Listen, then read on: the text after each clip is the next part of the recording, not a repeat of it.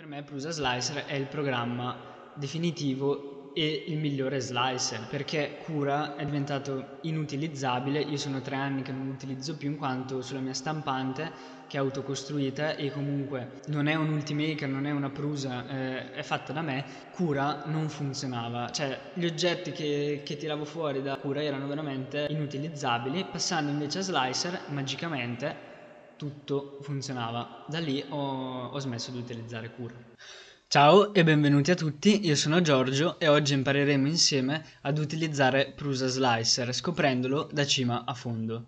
Ma partiamo dal principio. Che cos'è lo slicer? È quel software che permette di trasformare il tuo oggetto 3D in un linguaggio macchina che può essere letto e riconosciuto dalla stampante, che contiene tutte le informazioni dei movimenti, delle temperature e di tutto quello che serve alla stampante per creare in questo caso Prusa Slicer è sviluppato e viene fornito dal team Prusa che ha basato questo programma sul vecchio progetto open source Slicer. Dico vecchio perché ormai è un programma obsoleto e non, non più aggiornato da anni e sicuramente chi stampa in 3D da molto tempo eh, lo conosce e lo ha utilizzato. Tra l'altro era stato creato da un nostro connazionale, appunto Alessandro Ranellucci, ed è stato uno dei primi slicer a introdurre un'interfaccia grafica intuitiva e semplice. Recandoci sulla pagina di Prusa Slicer possiamo scaricare l'installer per Windows, che in questo caso però è alla versione stabile, che è appunto la 2.2. Io voglio scaricare invece la, l'ultima release, che è la versione 2.3.0 che però non è ancora la versione stabile. Per fare questo dobbiamo recarci sul link GitHub in cui si trovano tutte le varie versioni rilasciate con eh, il relativo changelog. In questo caso scelgo di scaricare il pacchetto Prusa Slicer 2.3 per Windows 64 bit. Una volta scaricato il file compresso da GitHub estraiamo la cartella e qua dentro troviamo il programma. Successivamente la cartella può essere spostata dal desktop, eh, ad esempio nel disco locale C, per poi creare un, eh, un collegamento al desktop. Al primo accesso vi richiederà di configurare la vostra stampante, in questo caso a me non è uscito niente, possiamo recarci su configurazione, configurazione guidata. Questa sarà la schermata che vi apparirà al primo accesso al programma. Possiamo scegliere una delle stampanti Prusa già preimpostate e qui arriva la prima chicca di questo programma, ovvero integra già in un unico slicer sia la parte FDM sia la parte SLA. Però in questo momento sono supportate solo le stampanti Prusa. Andando sulla voce altri fornitori possiamo scegliere eh, altri fornitori di stampanti che sono supportati da slicer. Troviamo Bibo, Trilab, Lulzbot, Anycubic, Creality. Ad esempio eh, selezionando la voce Creality ci apparirà qua sotto la voce Creality FFF, clicchiamo e troveremo già le varie configurazioni eh, di tutte le stampanti Creality.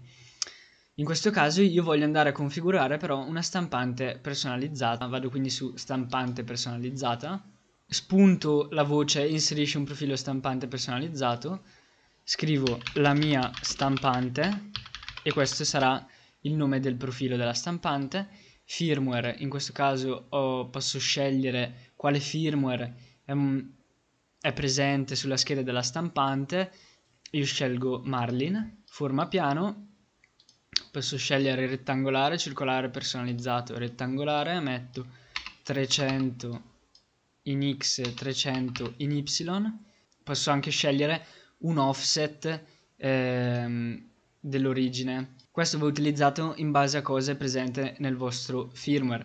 Però ad esempio ipotizzando che nel firmware eh, l'origine del, del, piano di stampa sia posto esattamente nella posizione 00 della nostra stampante, andando a mettere un valore di 10 in X, sposteremo il punto di home 10 mm eh, a destra rispetto all'origine effettiva della stampante, quindi in realtà stiamo limitando di 10, di 10 mm l'area della stampante, in questo caso rimettiamo a 0. Prusa Slicer ci permette anche di caricare una texture personalizzata che andrà, si andrà a, a posizionare appunto sul nostro piano e possiamo anche caricare un modello che sarà quello visualizzato come piano di stampa. Recandoci sulla voce successiva dobbiamo impostare qual è il diametro dell'ugello della nostra stampante, in questo caso lascio il 0,4, se il vostro ugello è differente dovrete impostare un valore differente.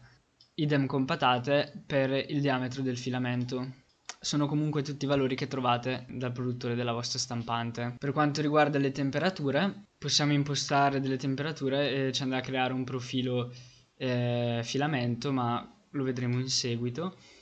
Possiamo quindi saltare e andare alla voce filamenti, qua possiamo o non selezionare niente e quindi eh, dovremo aggiungere manualmente profili per i nostri filamenti, oppure possiamo utilizzare dei preset già, già presenti nel programma e appunto cliccando su questa voce troveremo vari, vari preset per vari materiali tra cui in questo caso PLA, PTG, ABS dei vari produttori. In questo caso io decido di non inserire niente in quanto creerò i miei profili da solo. E clicco su completa. Questa era solo l'introduzione a Prusa Slicer. Se ti interessa veramente imparare tutte le funzioni più interessanti di questo programma ti consiglio di guardare i prossimi video. Arrivederci.